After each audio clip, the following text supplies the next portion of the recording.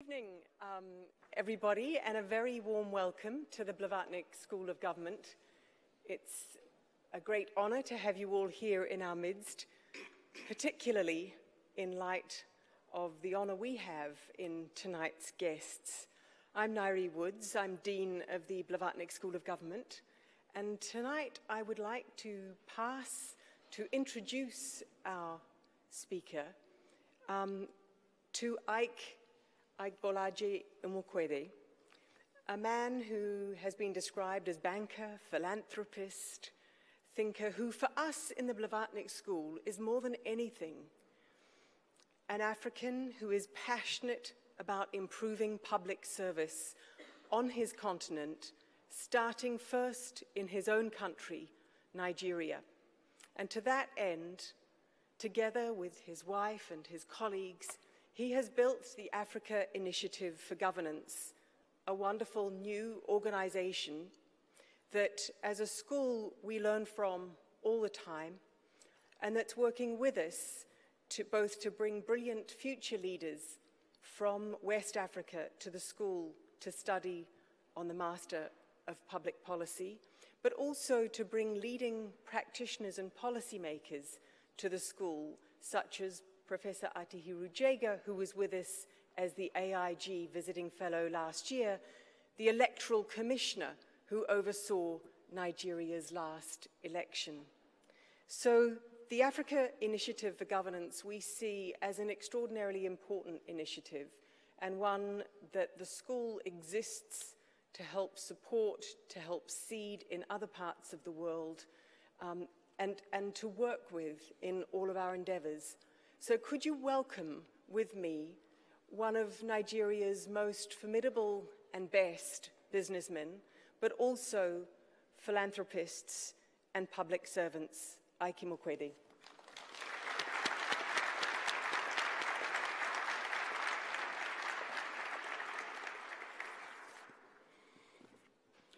Good evening, distinguished audience, uh, and thank you so much, Ngaire.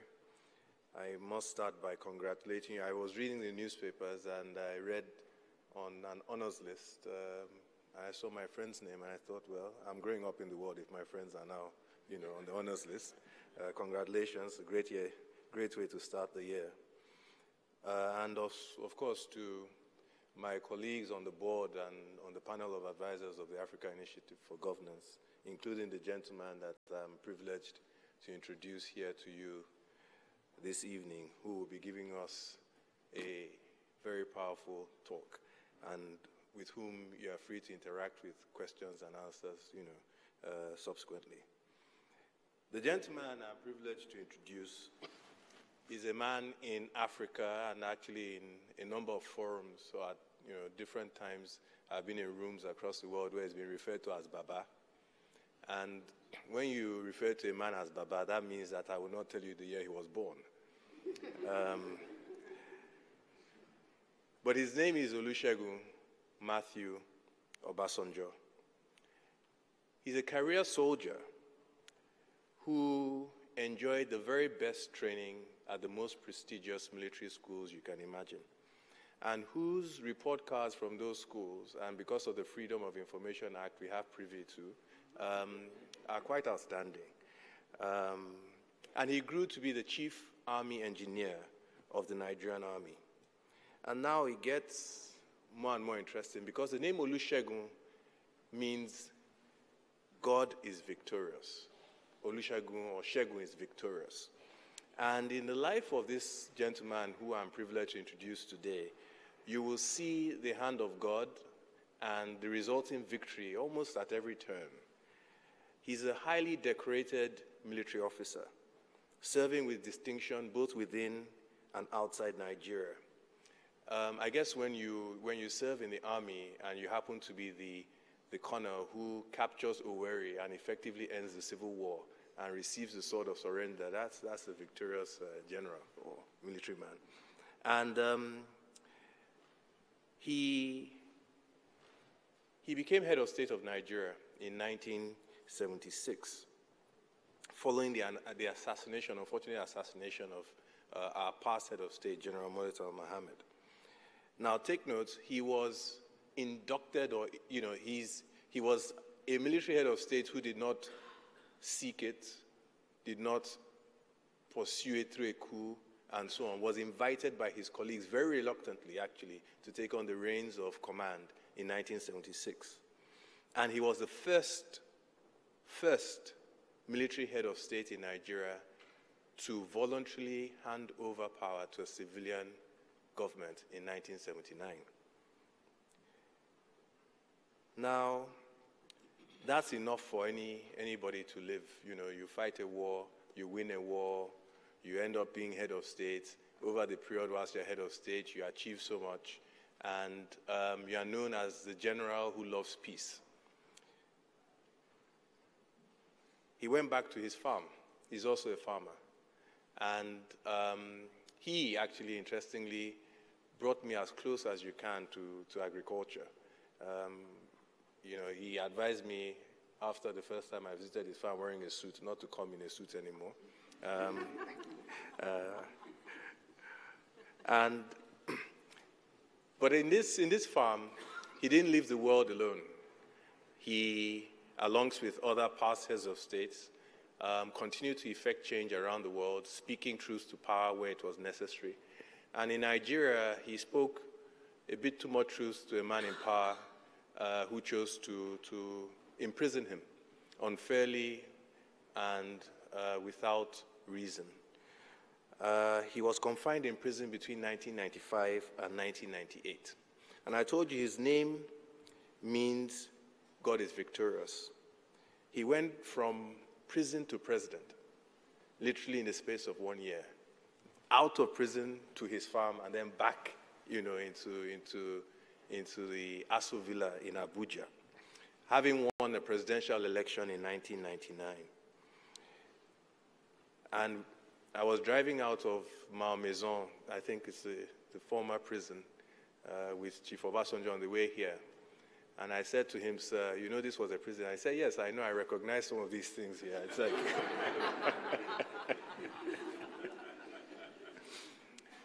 As Nigeria's president, um, you saw that name, Olusegun, God is victorious at play again, because um, he took Nigeria from ranking as one of the world's worst economies to ranking as one of the world's top performing economies between 1999 and 2007. During that period, we witnessed many revolutions. We witnessed the, what we call the GSM re revolution. Prior to his presidency, uh, 90 million Nigerians struggled to use 400,000 phones. And um, he introduced the GSM technology into Nigeria through a very transparent auction system that today has seen us go from 400,000 phone lines to over 160 million phone lines for 190 million Nigerians. He introduced the pension revolution, uh, which has led to about 9 million or between 7 and 9 million Nigerians having pension accounts from under, well under a million Nigerians and well over 7 trillion naira in savings mobilized as a result therefrom. He introduced the Industrial Revolution in Nigeria that has seen Nigeria's cement capacity exceed our domestic consumption, as well as sugar and other, other, other areas. He introduced the institutions that today um, uh, the EFCC, which is the Economic and Financial Crimes Commission, to fight corruption. He strengthened the central bank introduced the National Communications Commission. Um, and, well, obviously, he didn't do this alone. He has this great knack of spotting great talent and building teams with a sense of purpose. Uh, there's something interesting that I found about his team members. His team members seem to achieve great things when he's president, and when they're on their own, they don't do that well. but certainly, if there's a man with a track record of building outstanding teams and getting talented Africans to do great things, this is one of them. And he didn't end there. His presidency ended in 19, uh, 2007, sorry. And um, he continued. The world uses him now more than Nigeria uses him, even though from time to time, when he, he's a bit uh, unhappy with what is happening in Nigeria, he never lacks the courage to see it, speak it, and, and, and walk it. Now, at the grand age of, um, uh, he just earned a PhD in Christian theology, which, as I understand, is actually one of the more difficult um, subject matters to pursue a PhD, and I think he deserves a round of applause for that.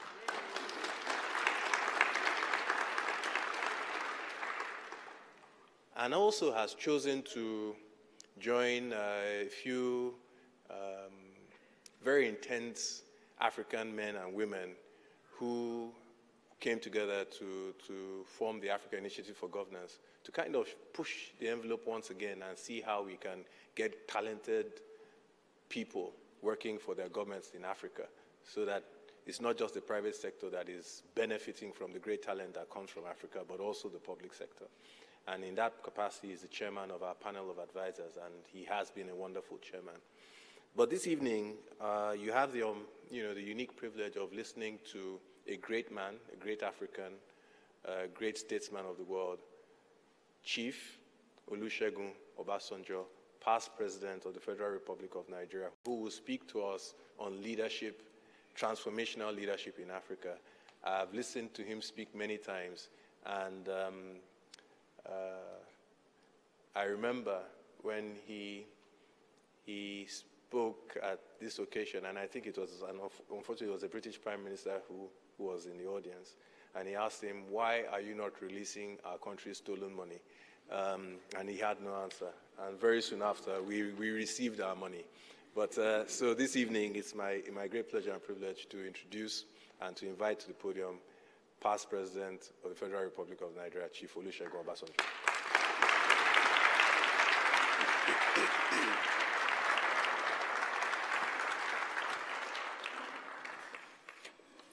I thank you very, very much for all those sweet things that you've said about me. But you should realize that I do have political adversaries. And if you say all those things in their presence, they won't like you for it. um, ladies and gentlemen, uh, let me welcome you. But let me uh, crave your indulgence that um, about an hour and a half I've been given to this uh, exercise tonight. In that one and a half hours, I was supposed to speak for one hour, which I regard as much, much too much. So what you will understand if I'm short on monologue and long or interaction, which is which will be more beneficial to all of us. Leadership is a subject that is relevant and always topical in any human institution or organization, and more so in the African context of today. This issue of leadership is one that usually poses dilemma to the analyst when it comes to its examination this is particularly so in that it has a plethora of dimensions.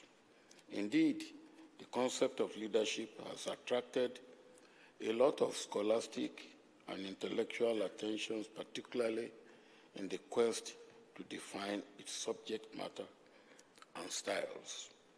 As a matter of fact, even though leadership remains one of the most relevant aspects of any human community, its theory, definition, and styles have been both challenging and varied depending on the situation. I do not intend to go into semantics and details of definition and styles, except to say that the job of any leader is to lead and influence others to do what they have to do for the collective objective willingly to achieve the group or corporate goal. Leaders don't always function or perform alike. Indeed, no two leaders will do or act exactly in the same way over what needs to be done in any one particular situation. Indeed, today's reflections on Africa elicit both a smirk and a grin at the same time, particularly when the world at large and Africa in particular is grappling with twin issues of economic growth and poverty in our continent. For the cynics, undiscerning and the uninformed, nothing much has changed about the continent. Still a black continent full of monkeys and apes in the street with disease, poverty, and corruption. They are both happy and sad stories to tell about Africa. For the cynics, nothing reflects the African situation more than the desperation of African youth to flee the continent. The phenomenon is sad and tragic. The cynics may be forgiven for their view, but I tell you, it is a manifestation of an old, ever-thirsting challenge of population management with good governance. But for as long as those who are supposed to act on these issues err on the side of some awkward sentiments of religion, culture, and nature, so long will it be difficult to deal effectively with the issues, including the demography issue. The story of leadership in Africa is not only about missed opportunities or of its many missed starts. Afro-pessimists may as well dwell on these or continue to revel in the often misunderstood jinx of Africa remaining perpetually as, and I quote, the continent of the future. I think Africa's time is now, and the signs are not too difficult to read. However, transformational leadership is required and it is key. In discussing this idea or concept, if you will, I should dwell a bit on a historical overview of transformational leadership in Africa, what it means, and I shall also delve a bit into my personal experiences as an active participant in managing transformative change in my own country, Nigeria. Some questions immediately arise. How does the African conceive leadership? Are leaders in Africa conscious of change, transformative change? How have we as leaders in Africa acquitted ourselves in driving transformative change? Are there case studies to drive home these inquisitions? What are the issues and circumstances that hinder such changes? And what needs to be done to actualize such changes or sustain them if we already have a modicum of them within the continent. Historically, African leadership was potent and formidable during the pre-colonial era, a leadership interwoven with the life of the entire community. People's knowledge of their leader during this period was inalienable and intimate. The leaders themselves had what embedded spiritual dimension that they were God sent and that their act of governance was in accordance with the spirit and letters of their ancestors and the divinities. The period witnessed the golden age of monarchies and paramount chiefs on the continent. Colonial, uh, colonialism in the 19th century compelled another kind of leadership for Africa. With the occupation of Africa, direct emasculation of African development, including abuses and atrocities, were recorded on the continent perpetrated by colonial masters. Fired by patriotism and a burning desire to liberate their people from the clutches of imperialism, the African leaders of the colonial period resolved to prosecute an agenda which will bring freedom and egalitarianism to the rank and file of their people. The, colon the colonial African leaders, it must be noted, were not directly at the helm of affairs during the period. They were, at best, at the periphery of power, as absolute authority was vested primarily in the colonial masters. The constraints and shortcomings they grappled with during the period, therefore, necessarily had to be second-hand, transferred, or indirect. African leaders of the colonial period, traditional chiefs and nationalists, deserve to be credited for their willpower and doggedness in fighting the cause of freedom and independence for African nations, in spite of the fact that they were not directly within the power corridor. History has recorded their monumental achievements against all odds. They sought for independence and got it by negotiation, with some of them imprisoned or dead in the process, or by taking up arms, with some of them dying also in the process. In addition, and under an ideological pretext, they were pulled together. Uh, they were pulled towards a Western or Eastern ideological magnet, which came with unnecessary weights and viewing lenses in the Cold War that they were not part of or had any real uh, attachment to, that they become pawns in the war.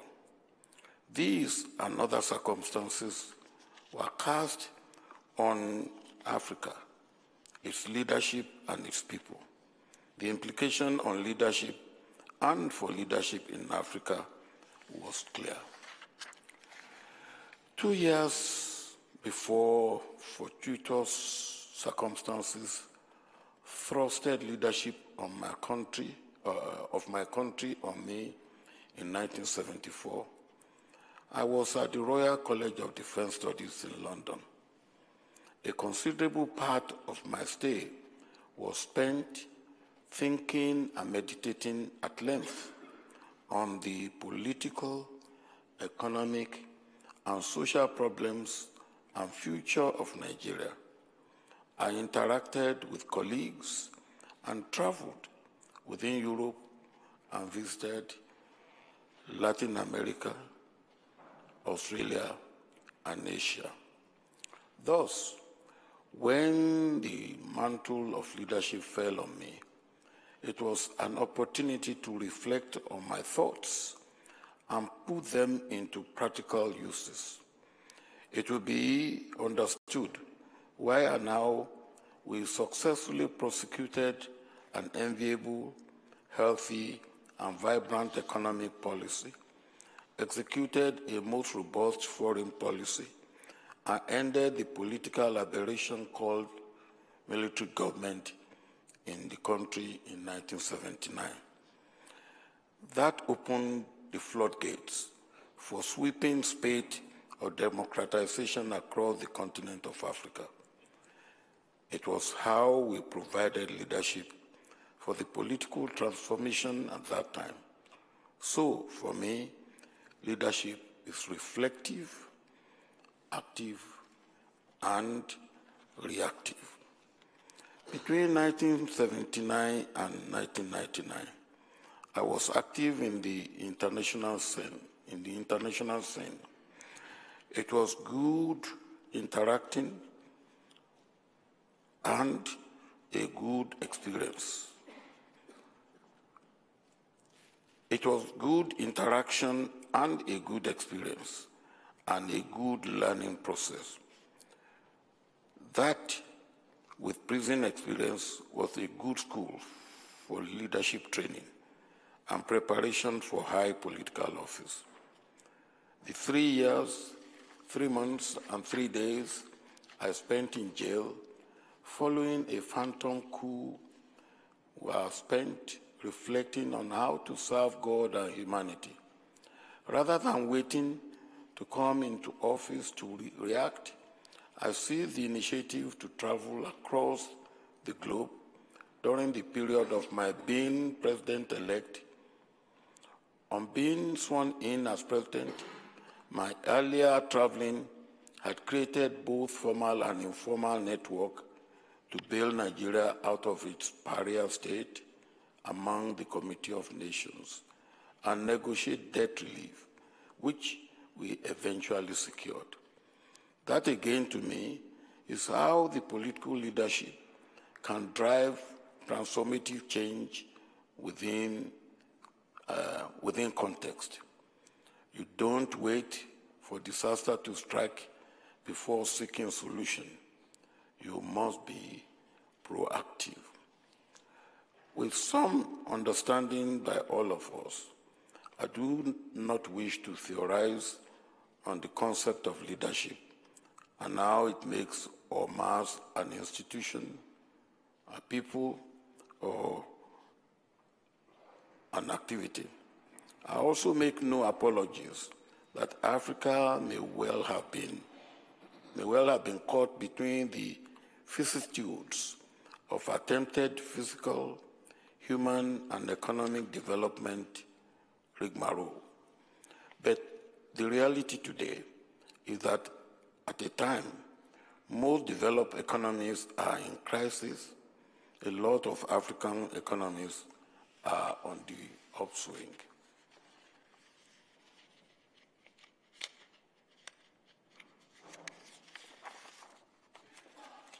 On the upside, experiences are showing that there is an emerging African leadership that is responding positively to the challenges of today. I remember that while we were inaugurating the African Leadership, Africa Leadership Forum, ALF, in 1986, former German Chancellor Helmut Schmidt had averted our minds to the fact that the economic literacy would be a major solution in Africa leadership challenges. On the development plane, experiences since then have shown that some leaders in Africa with modicum of economic knowledge are responding positively to the challenges of leadership in development and economic management. It is not surprising that at the commanding heights of the economy doing well in Africa today are some of the best economic managers who had, who had proven uh, mettle in major international financial institutions and focused professionals who have uh, who know their onions. The example of Rwanda, Ethiopia, and Cote d'Ivoire are apt. President Alassane Ouattara is focusing on transformative potentials in Cote d'Ivoire with his economic comeback after his election in 2011, which led to death of over 3,000 Ivorians. He has changed the narrative to get ahead of the economic curve by posting a double-digit GDP growth, exporting electricity to neighboring Ghana and Mali, and exporting processed versions of Ivory Coast's rich raw materials and agricultural produce like cocoa, cotton, rubber, and palm oil, and making his country live with the largest percentage of middle class market in all Africa. The story is the same in many African countries. Over the past decade, six of the world's 10 fastest growing countries were African. In eight of the past 10 years, Africa has grown faster than East Asia, including Japan. Even allowing for the knock-on effect of the Northern Hemisphere slowdown, the IMF experts, uh, the IMF expects Africa to continue to grow some by as much as of middle to high single digit economic growth, and some double digit till most become middle class income by the year 2025. For this to happen, African leaders need to mobilize internal resources for development and encourage direct foreign investment, uh, investment flows. Africa must be able to incentivize 25% of annual global flow of foreign direct investment, which stood at 1,600 billion for 2016. Only 55 billion of that came to Africa. And if we have been able to have a quarter of that, it will have been 400 million dollars.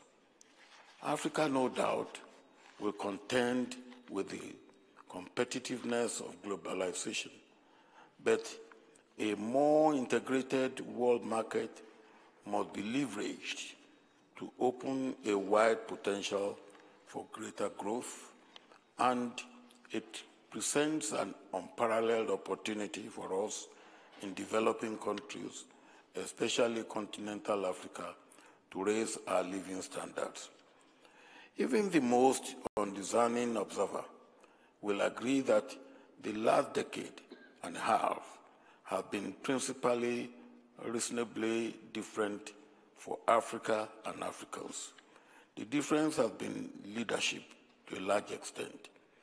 We have undertaken far-reaching reforms which is meant to remove the old order and establish a new order, and which should enable Africa move in tandem with the rest of the world. I was elected as president of Nigeria in February of 1999 and was inaugurated as president in May 1999 when Nigeria was a pariah uh, nation, as I said earlier. Everywhere people had poor opinion about us. We were scorned at and viewed as a liability in the Comity of Nations. The situation demanded that I worked to stave off that perception. As a country under political transformation, I applied myself scrupulously to the task at hand. For the eight years that I served, I reached out to world leaders and continue to do so beyond my presidency. That was termed shuttle diplomacy in governance.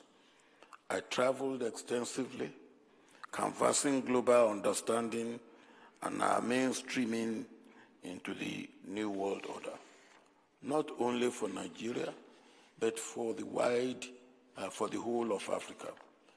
By the time I finished my two terms, I had traveled to 97 countries. Like most social science concepts, in defining and or understanding human endeavor, several elements or factors come together to provide the pillars for transformational leadership. In my experience, I should point out a few which were evident as I lived through life and learned from it. They include reflection and engagement, proactivity, shrewdness, and openness to work with others.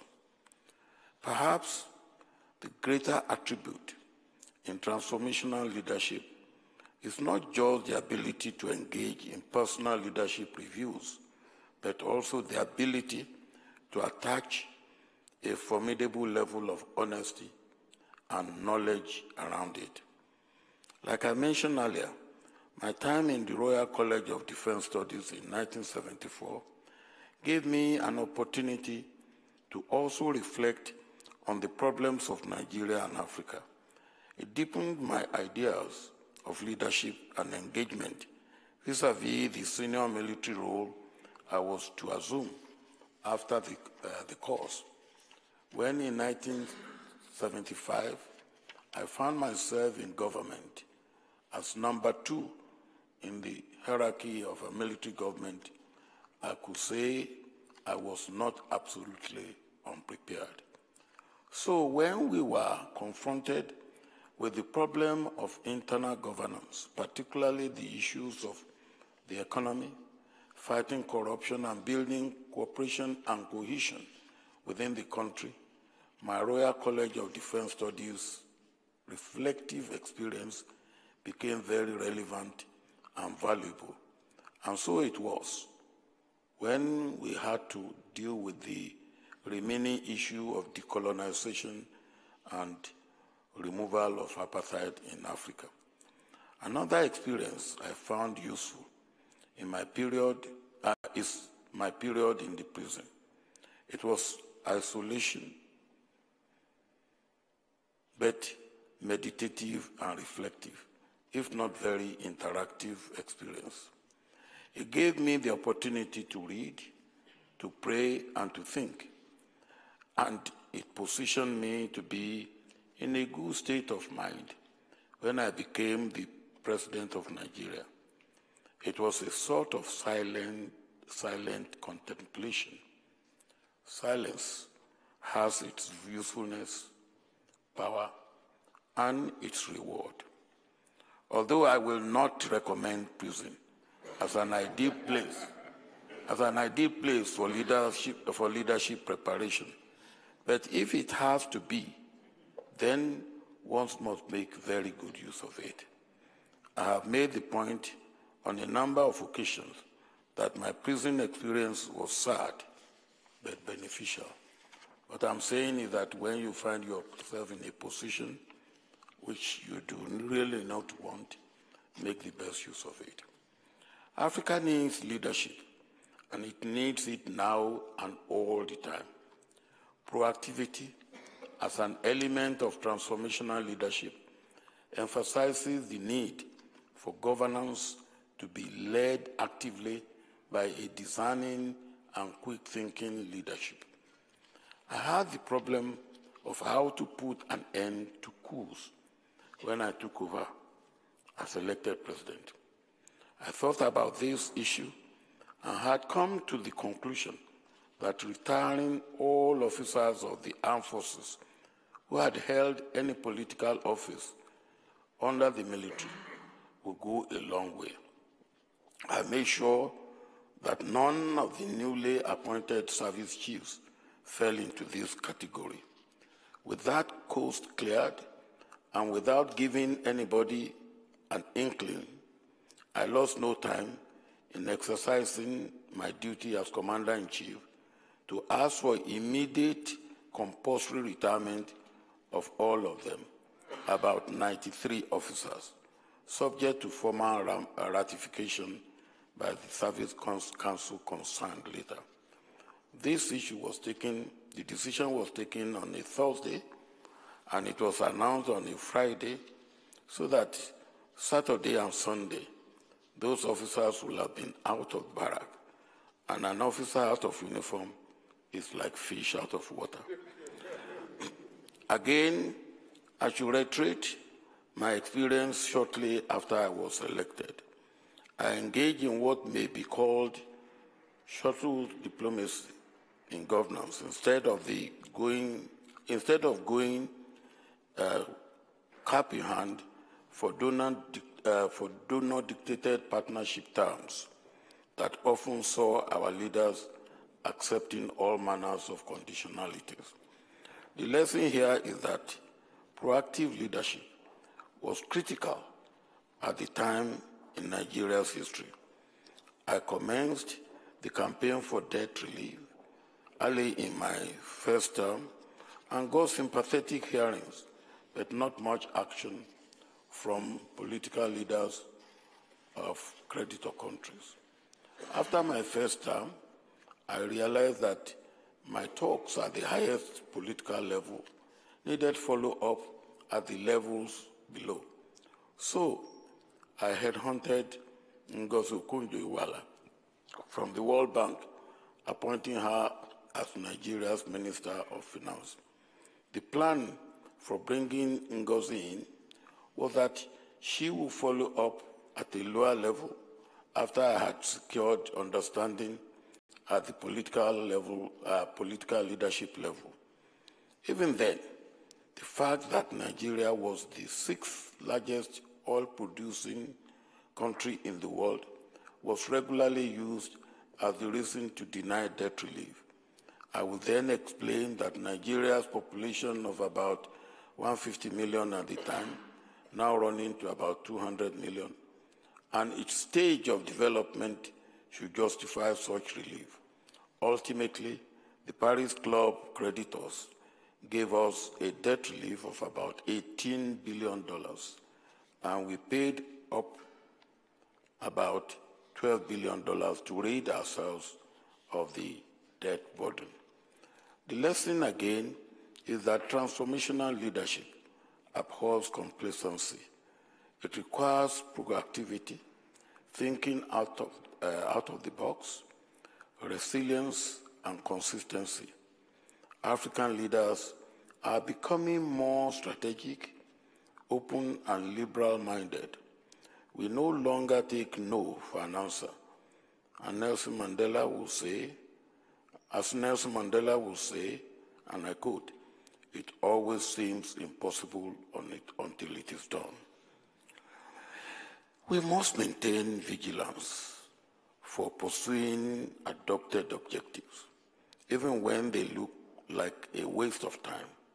An example of this element saw our creation of excess crude account, which at that time meant saving excess revenue and channeling them towards critical development goals.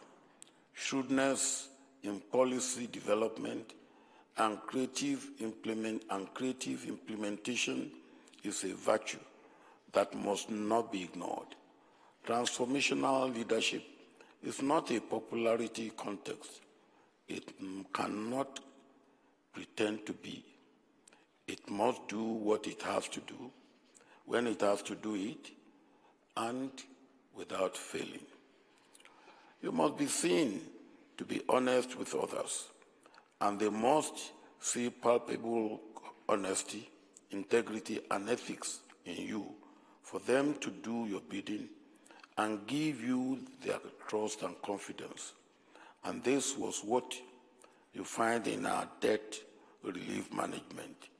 When the international community knew that we were serious with our reform efforts, they cooperated and became very responsive and helpful. In conclusion, good governance is the byproduct of good leadership. And good governance is unequivocally germane for development in all ramifications of human life, dignity, and quality of existence. There's no substitute for dialogue in terms of face-to-face and eyeball-to-eyeball discussions and negotiations for understanding an effective result. Therefore, if Africa is to be relevant in global division of labor, global decision making, and competitiveness, its leaders need to wake up to the clarion call of positive developmental paradigm shift that will significantly benefit the African continent and humanity globally. Of significant importance is the performance of all sectors of the entire national life, such as the private sector, the academic, the civil society, the religious and financial institutions, market women, youth, and even ordinary farmers. All hands must be clean, efficient, effective, productive, progressive, and on deck, performing well with one objective, making Africa the, the continent of the 21st century. Whatever any human being anywhere can do, an African can do it, given the same opportunity. That is my belief and my philosophy. Africa does not need to be where it is if African leaders have chosen the right option. But better late, however, than never. This could mean a total cognitive re-engineering that will evolve a change of attitude and approach to leadership and governance at all levels and in all walks of life. The knowledge age poses an additional challenge to African leaders of today to claim this 21st century for Africa. The key is leadership. That leadership can be both a learning experience and a practice in the act of self transcendence with the advantage of hindsight. My commitment to the model of leadership helped me to appreciate the importance of formalizing a structure to institutionalize the memory of my service for posterity. Within the framework of the Olusegun Obasanjo Presidential Library, we aspire not just to pay tribute to the past, but also to add value to a spectrum of undertakings which seek to evolve a homegrown architecture to help, and I quote, fire the imagination of young African leaders as Nigeria's first President Dr. Nnamdi Azikiwe once observed. It is not all an unmitigated failure. We have, we have some oases in the desert, but we need critical mass sustainably and continually. I am optimistic that the 21st century can be the century of Africa. My confidence springs from what I see of up and coming young African leaders. We just had meetings with some of them, which is inspiring and which fills me with hope for the future. I am inspired by their can do spirit, their enthusiasm, dynamism, inquisitiveness, and ready to go attitude, as if to say, where past generations fail, we will succeed. I thank you for listening.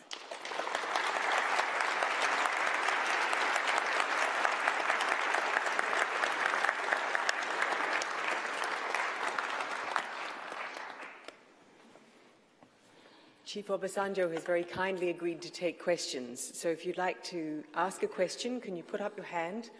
Do briefly tell us who you are and, um, and then an even briefer question. So, over this side. Mr. President, thank you for being here. Uh, I'm Andres, I come from Colombia, and one of the... By you, by you so that I can hear. Yes. Give me that paper. Yeah, please go ahead.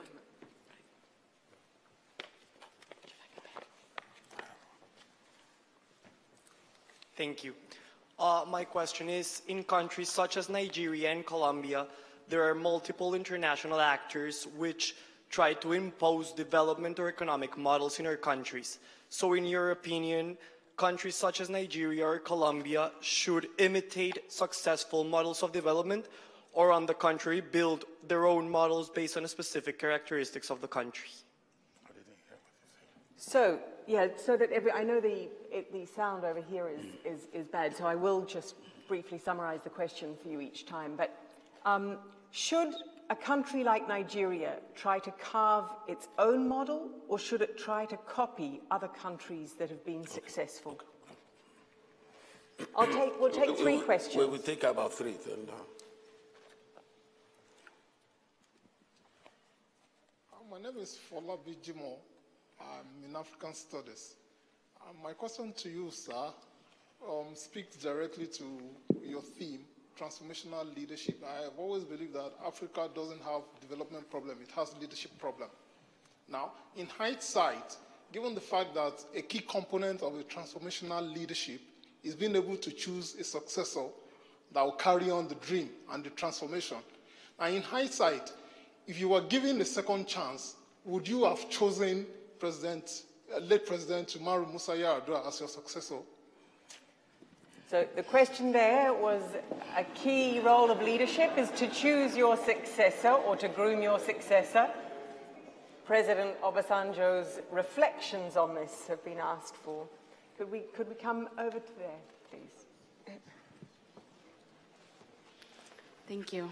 Uh, my name is Nalianga Masuku, and I'm Zambian, doing the MPP. So my question is, one of Africa's biggest problems is corruption, but then people around tend to feel there's nothing they can do because of the immunity of the people within the big house. So I was wondering, coming from the big house itself, what is the loophole that we are not seeing where we can fight corruption from the outside? So that, that question, just for our audience over there, was how do you fight corruption um, in, in Nigeria? Where, where is the loophole?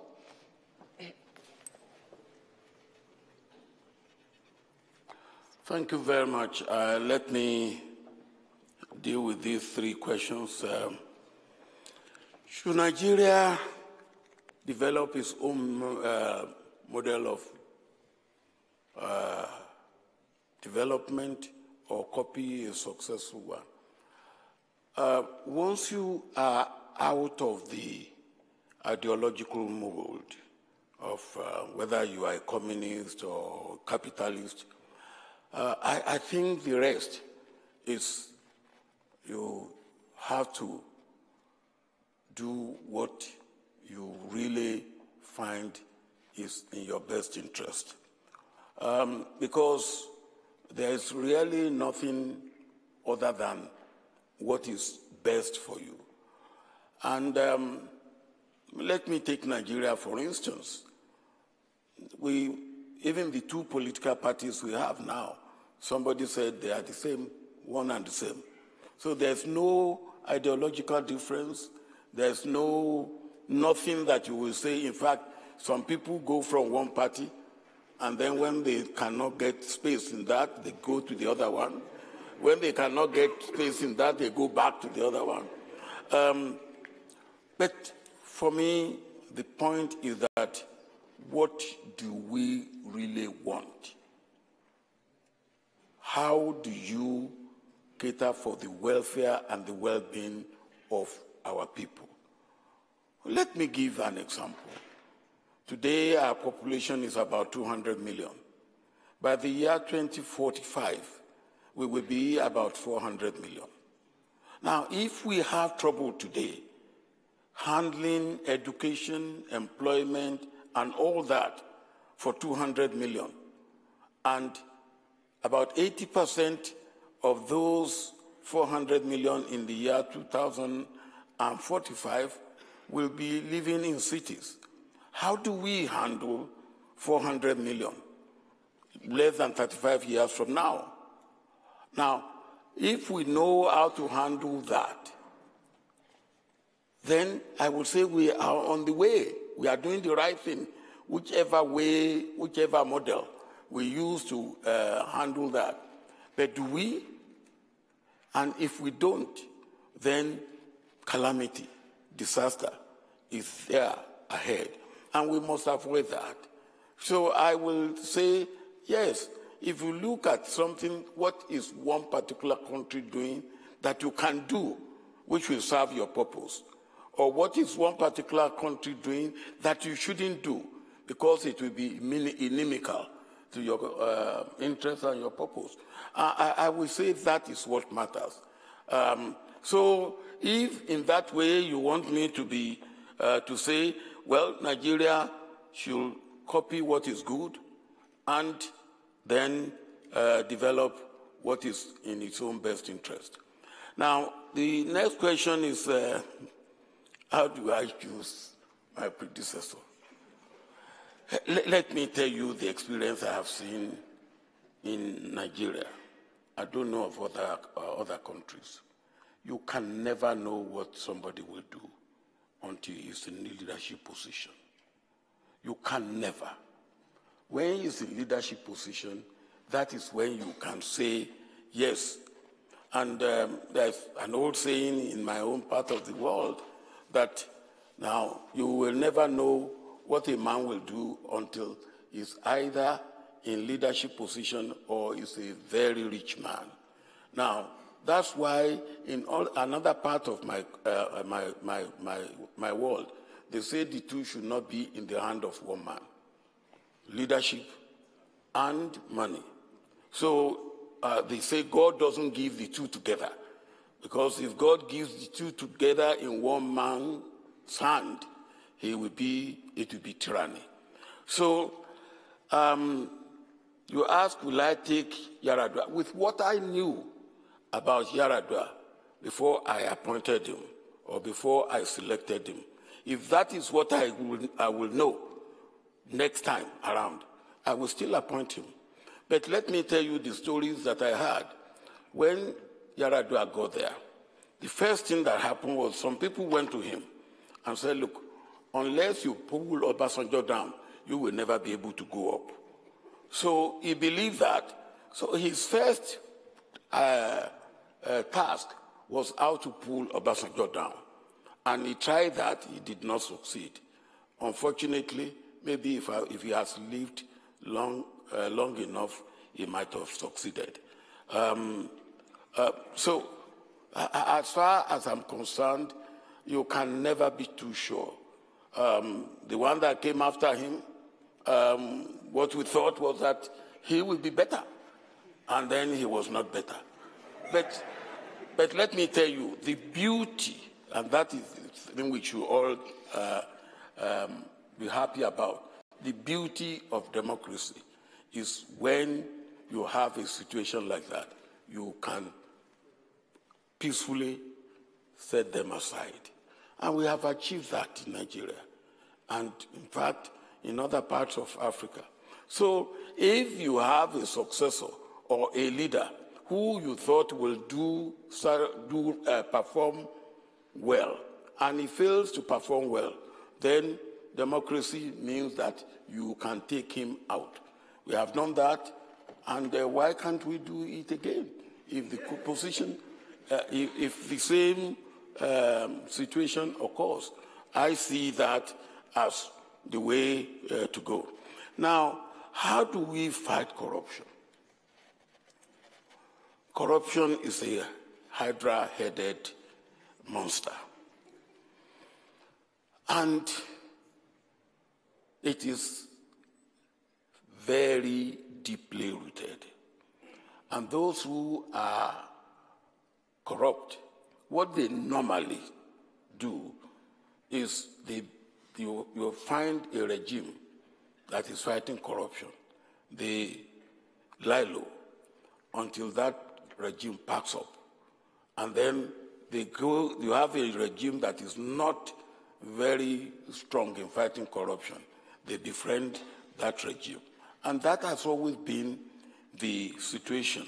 So fighting corruption is not a one-night uh, um, uh, ordeal. It's not even a one regime ordeal. It's not a two regime ordeal. It must be a, con- a continually.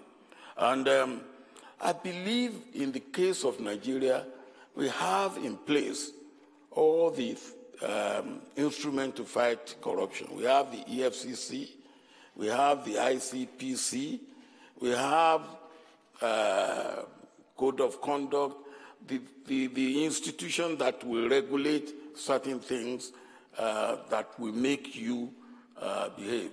We have one that we call, um, uh, what is that one? The uh, one um, that will make you do things according to uh, according to the way it should be done. What do you call it? Due process. Yeah, we, thank you very much. We, we call it due process. It's actually that it makes you do things the way it should be done um, and all that. But all those can be undermined. They can, they can be frustrated, they can be undermined, and we have seen that. So, what is the way to fight corruption? The first thing is that the man at the top must be ready to fight corruption. And he must be like Caesar's wife, above board. Then the people around him must be people that are as clean as he himself must be. Then there are certain heads of institutions, government institutions, your police, your custom, your um, legislative assembly, your judiciary. These are, uh, if you, are the head of government, you are clean and not corrupt, and these others are not clean and they are corrupt, you will be there alone and you won't achieve much.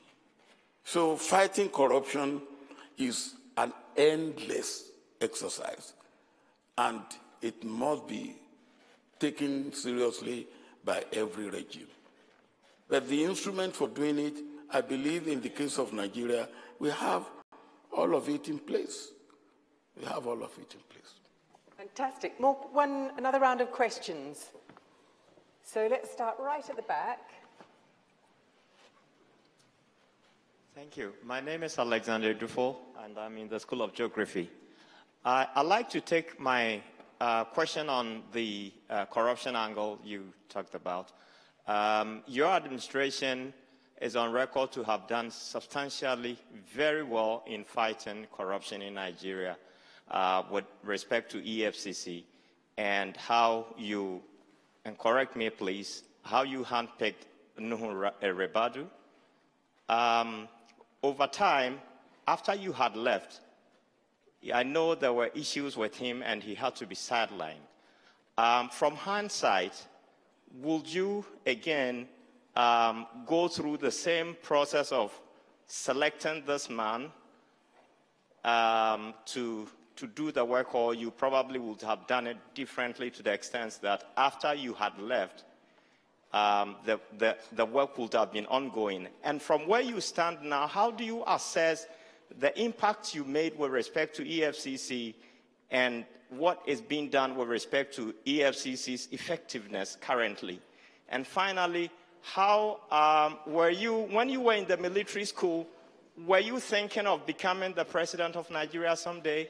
Thank you. We'll take, we'll take three. That was, a, that, was a, that was three all in one, wasn't it? Um, Hydra-headed, I think was the term.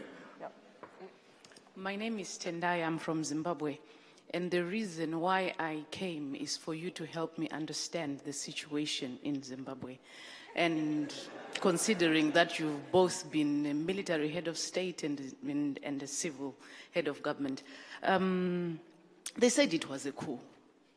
And uh, no, they said it wasn't a coup, but it had all the signs of a coup. And now we see the military, they are taking off uh, their uniforms and they are being given positions in government. So what is it? Are they leaving their military mindset and taking on a different mindset? I, I, would love for you to just give us wisdom of how to understand and how to move on as Zimbabweans. Great. So our first question was about corruption after the Obasanjo um, era. The second question is, please help me understand Zimbabwe. Is that a coup or is that not a coup? and uh, All right, across here. one. And one question. Hello, my name's Artwell. I'm from Oxford.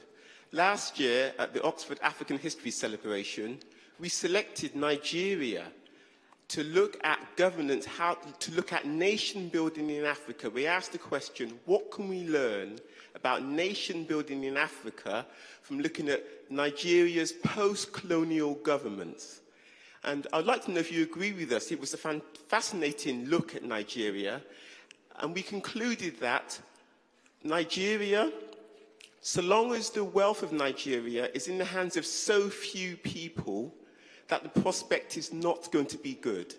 I wondered if you would agree with our assessment. Thank you.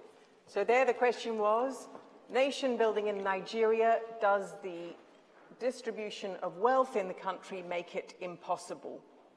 Let's take one, one more question, just right here, trying to take people at the front as well.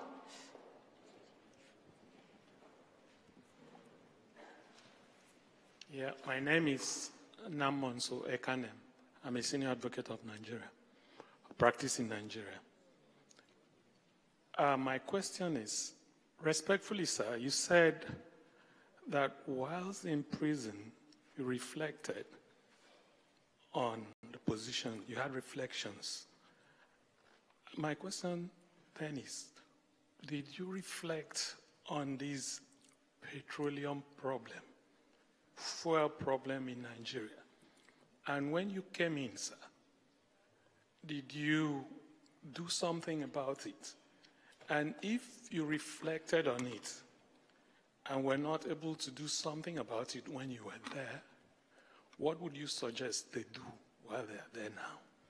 Thank you. Thank you. So that, that fourth question was the petrol problem, as you put it, in Nigeria, and whether you would do things differently. And there was one question, sir, uh, earlier on, which, which was whether you did you think of being president when you were in military school? Okay. Military- no, I didn't. I didn't hear that.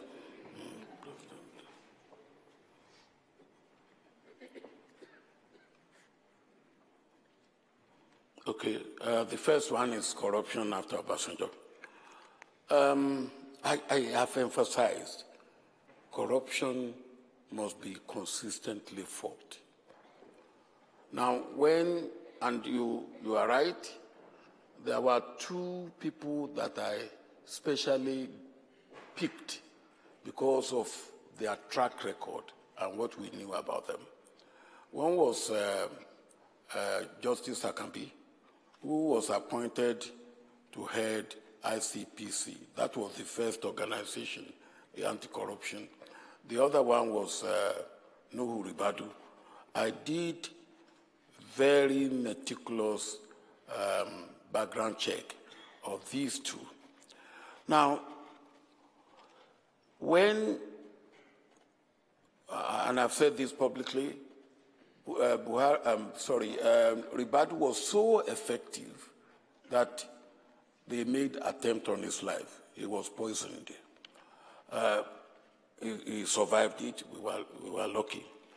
Now, when uh, Yar'Adua took over, he decided to dismantle a number of things as part of his program to pull Obasanjo down.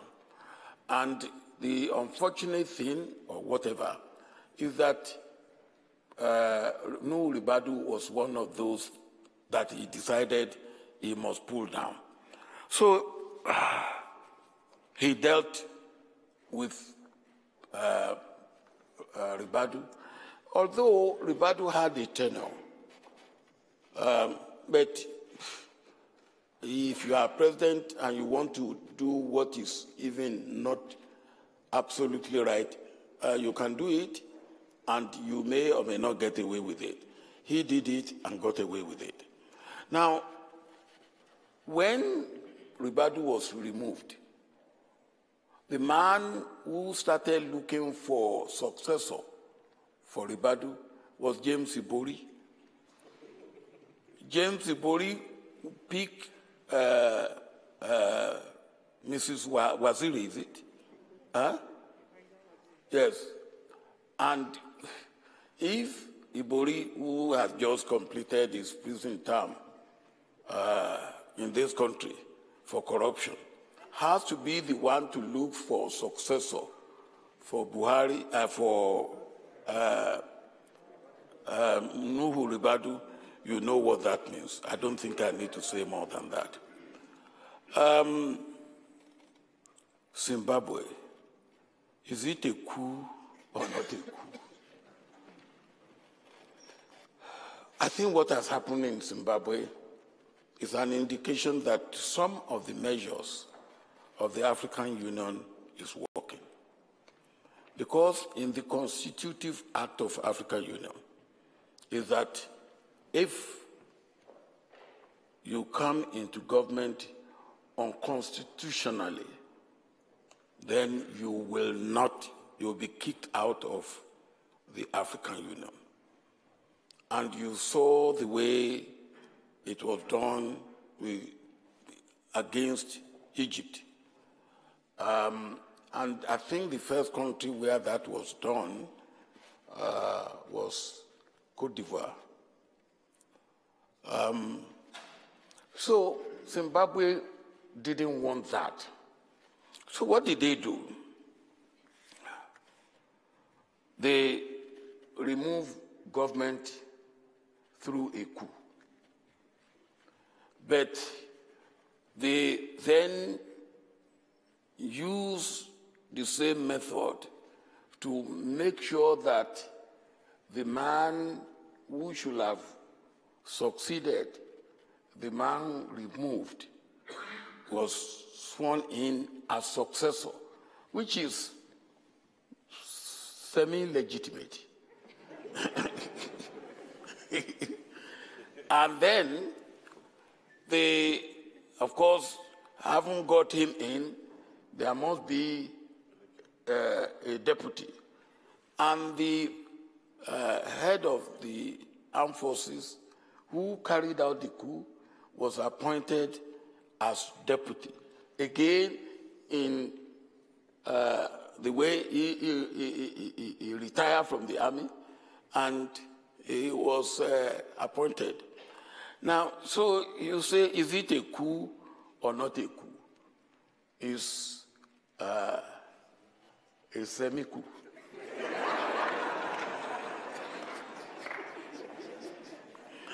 Uh, nation building in Nigeria will distribution of wealth help or hinder? If distribution of wealth you are talking about is distribution of wealth as we have it under the ground or on the ground, um, I don't see why that should really be uh, a hindrance, um, quite honestly. That if distribution of uh, wealth is in terms of what individuals have, even that, uh, I, I, will not say it should hinder our uh, uh nation building uh, process. Um, I, I, believe the, the, the, the, the wealth that God has endowed us with, we haven't managed it well. Now, if we manage it well, uh, we can achieve much better than we have achieved. Now, those who are fairly uh, and uh, who have acquired wealth, I wouldn't worry about that. Now, for me, let us have more Nigerian billionaires, and at the appropriate time, let us make them either willingly, voluntarily, spread their own wealth, or if they fail, government should make them spread it. Uh, that, that, that would be, uh, and that has nothing to do with uh, uh, uh nation building or no nation building. Um, Petrol. I think you are talking about the recent, I don't know whether we are out of it yet, the recent queue at petrol stations is going down, all right? Now, I ask people who are in NNPC, why this? The first thing they said is, oh, it's some independent uh, petrol dealers who thought that they will, uh, that government will hike the price and who are uh, um, hoarding. But that is not true. It is just poor management. And should, what do I think? I think it's incompetence, which is a reflection on the government, as pure and simple. Now, did I ever think of becoming president when I was in school? Whichever school I've been, I never thought of becoming president. Never. It never occurred to me.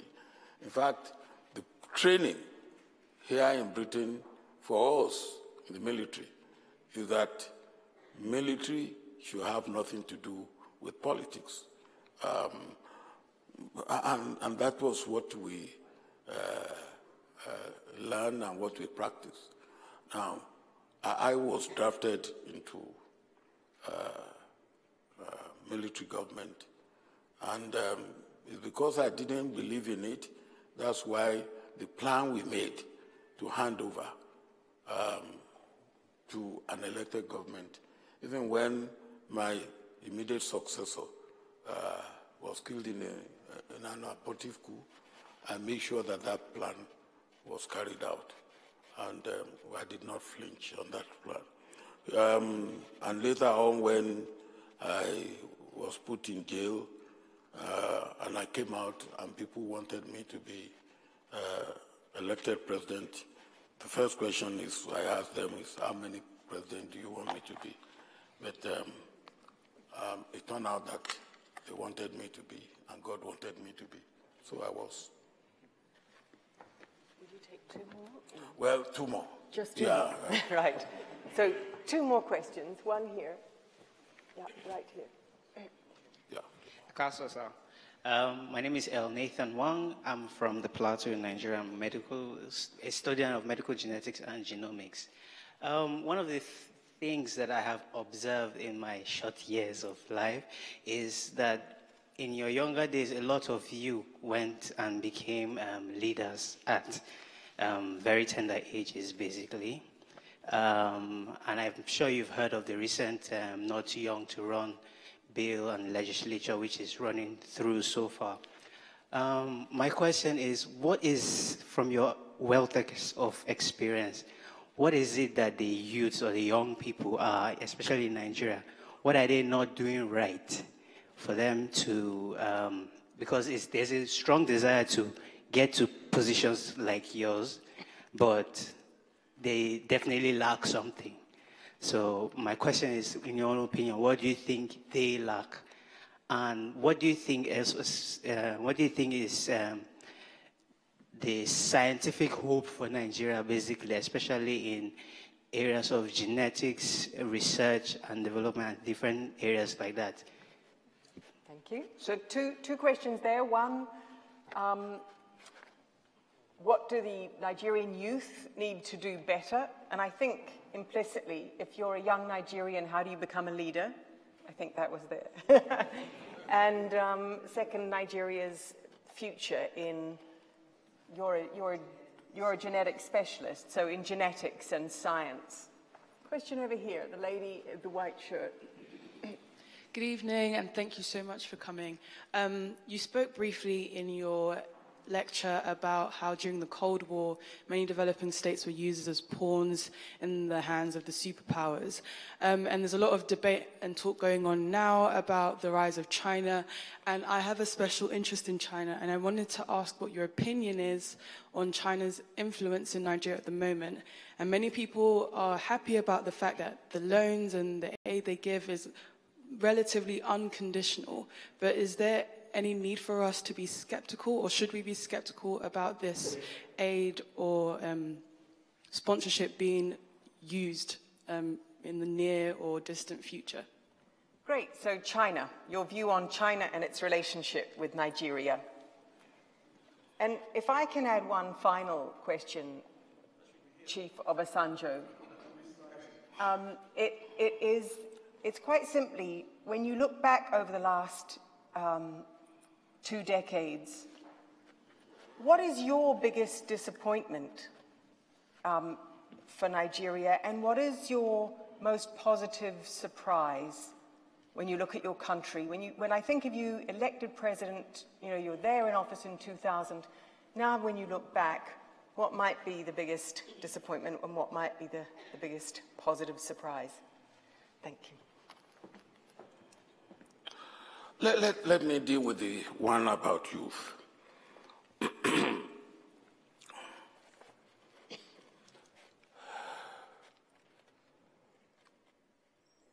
Almost anywhere I go, Nigerian youth ask this question. And what I get out of it is that they want to have leadership on a platter of gold. I think that should not be the way. In fact, on one occasion, I said that, look, those people who are there may not want to willingly leave. Don't kill them. but I said, look, if I sit down and there are two youth on my right, two youth on my left, and two youth behind me, and they start squeezing me, I will soon become uncomfortable. I will leave the place for them. Now, my daughter in front here is shaking her head, saying no. Now, if you want me, you want to take over from me at home, let's go and sort that out.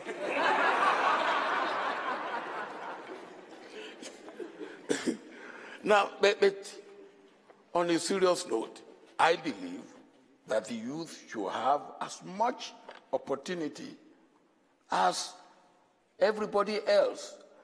I had a, a, a, a program recently, uh, is it? I, I, as a young man, is um, a, a, comedian. Delhi is a comedian. He came to me and uh, uh, we were joking, and I said, "Look, Delhi, uh, Delhi is, I will be around 35." And I said, "Delhi, you are my president." and I didn't know it was recording. And uh, the thing went uh, over. But, and I meant it. Why shouldn't Delhi aspire? Um, or any uh, of Delhi's uh, age or that there are things that limit the what a young man can attain. One is the amount of money that has come into politics. It is obscene. I don't know of other countries, but I understand that it's happening almost in all the countries in West Africa.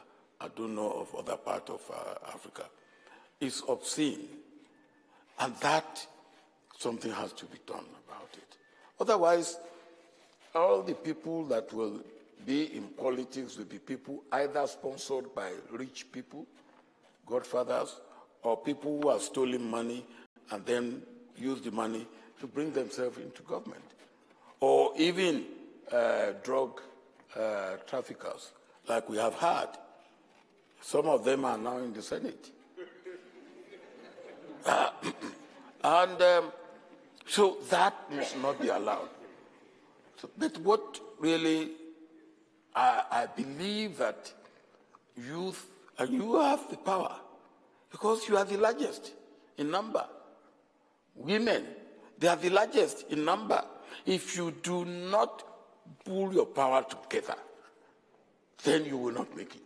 You have to find a way of pulling your power together. And if you pull your power together, you will make it. You will make it. The second of the uh, second is uh, China and Nigeria. I say, when I go, come here or go to the US, they ask me a question.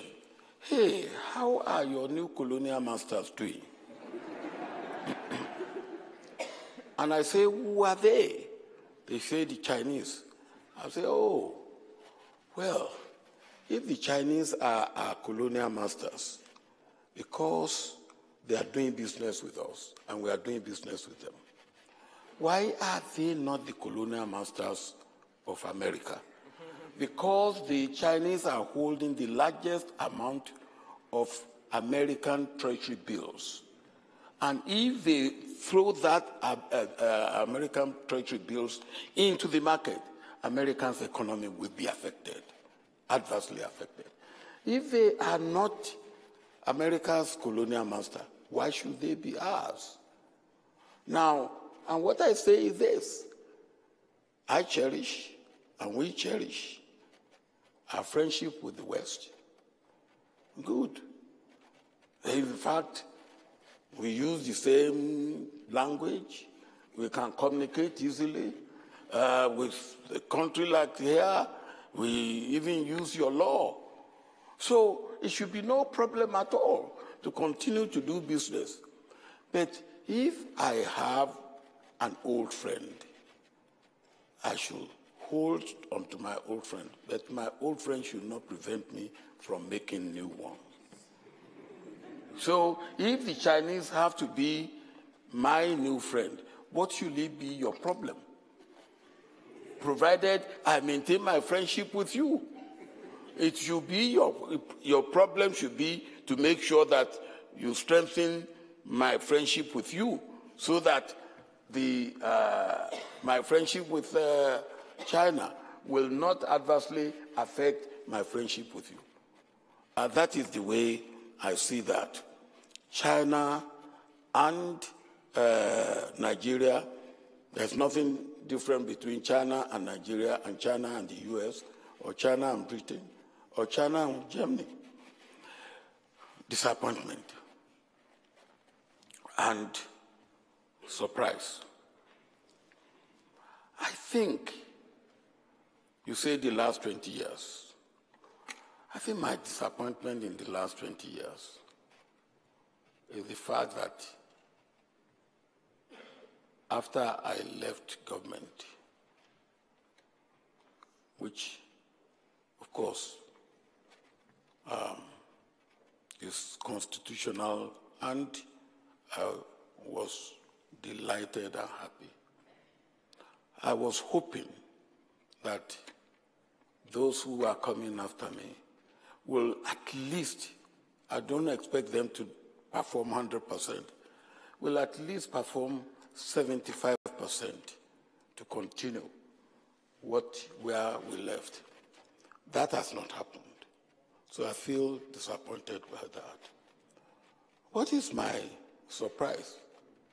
Oh, my surprise is that Nigeria still remains a solid one country. When I was coming into government in 1999, some people said to me, you will be the last president of Nigeria because after you, Nigeria will break up or during your regime. And therefore, there will never be a second president of Nigeria after you. Well, after me, there have been three presidents of Nigeria. And there will continue to be presidents of Nigeria. Whether they perform well or not perform well, that will be a question. And those who perform well, we will give them accolade. Those who fail to perform well, we will show them the door. It's as simple as that. So.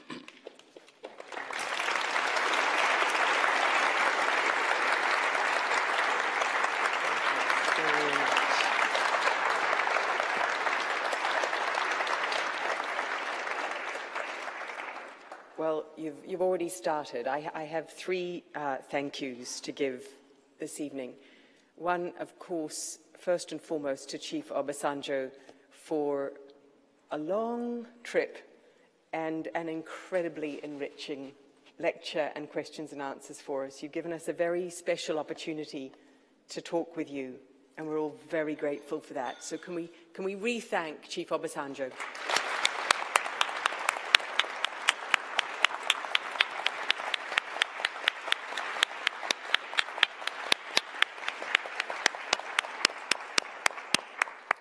My second thanks are to Mr. Aig-Imoukhuede and to his board, the board of the Africa Initiative for Governance. Could you stand? Could the board members of, could Aikonofove, Agi and the board members of the, and we thank them?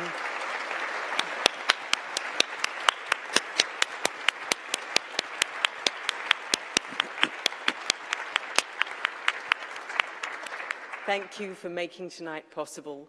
Um, and thank you to those who have travelled with Chief Obasanjo, including Funke, his daughter, who's here with us this evening, for joining us for this event. And finally, heartfelt thanks from everyone in the room to the staff of the Blavatnik School, the events and facilities staff, who've done such a lovely job to make this happen tonight. So thank you all.